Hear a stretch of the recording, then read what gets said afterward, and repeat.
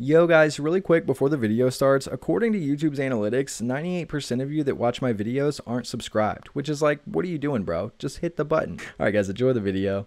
Yo, what's going on, and ladies and gents? My name is Arbuckle. Welcome back to another video. Today we are once again uh, back on Call of Duty Warzone, and I wanted to share with you guys the best class setup for the R9-0 shotgun. Uh, to be honest, this is one of my least favorite weapons in the entire game, uh, but I'm going to share with you guys the best class setup that you can run for it here in Warzone. Keep in mind, guys, this class setup is specifically built for Warzone, so if you're looking for an R9-0 shotgun class setup for multiplayer, I have a video for that on the channel, so make sure to check that out. But uh, if you guys take a look at this stats that we're going to get with this specific class setup, you guys will see that we get a pretty nice boost to accuracy, a small boost to damage, a very massive boost to range, and a really nice boost to control as well. We lose a lot of mobility here, which obviously isn't going to be that big of a deal because in Warzone, we're not really playing for mobility. So if you guys take a look at the attachments, we're not going to be using a muzzle. The barrel that we're using is the Forge Tac Sentry. With this, we're getting damage range and tighter pellet spread, giving us a nice boost to accuracy and range, but obviously more so range.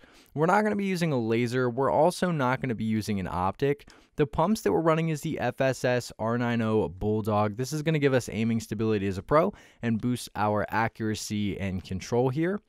The underbarrel that we're going to be using is the Ranger foregrip. So I like the Ranger because we get a massive boost to all three important stats, accuracy, range, and control. You guys will see that recoil control and aiming stability are our pros. Uh, so again, the Ranger foregrip underbarrel.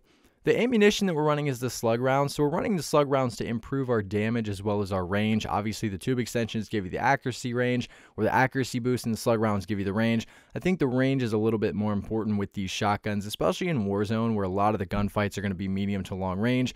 Uh, so having that slug rounds is going to be important. So nice boost to damage as well as range.